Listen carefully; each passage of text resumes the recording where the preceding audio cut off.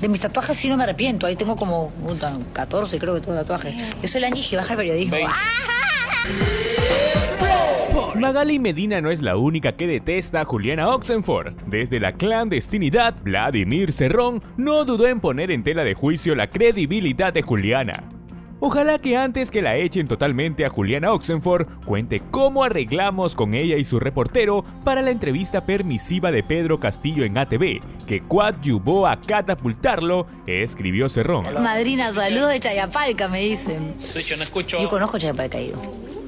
De inmediato, Juliana recibió cientos de mensajes culpándola por el triunfo de Pedro Castillo. Si algo no voy a permitir jamás es que manchen mi nombre, incluso se trate de un delincuente escondido. En todo caso, salga de su cloaca y muestre alguna prueba. Como no cumple sentencias, ¿qué le importa seguir cometiendo delitos de difamación? Ya caerás como corresponde, escribió en un primer momento Juliana Oxenford. Mi partner, mi Hello, socio, ¿cómo mi estás? amigo, ¿Qué dices? Javier Ávila, siete años juntos. Oye, siete años, mira, cuánto Le amo, tiempo, le amo. cuánto tiempo. No, y es un ser humano maravilloso. Sí, Hoy día pues. es su último día. Ajá.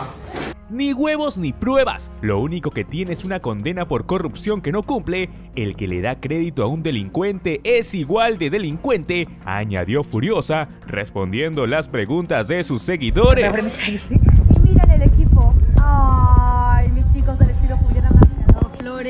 Los girasoles es mi flor favorita, el punto que... ¿Cómo seré de roja que el más colorado de todos sale a difamarme? Viva el fujicerronismo y su inútil intento de desaparecerme. Todo en la misma semana, liberan a Fujimori, suspenden a la fiscal y ahora esto, ya me voy tranquilos. Aguanten una semanita. Bueno. Ahora les voy a contar bien lo que ha pasado. Vamos a explicar un poco a la gente, eh, sobre todo a la gente que es quienes siempre nos ha interesado. ¿qué pasado? ¿Qué ¿Qué pasó? ¿Qué pasó? pasó? ¿Qué Se van a hacer Juliana Oxenford está próxima a concluir su contrato en ATV y una de sus principales causas es no estar a favor del Fujimorismo, como otros programas que hicieron extensos reportajes cuando estaban en campaña. Mucho filtro, sí, es filtro, han puesto filtro, ¿cierto? Pero no mi celular es de Marjorie. Ah, no hay filtro.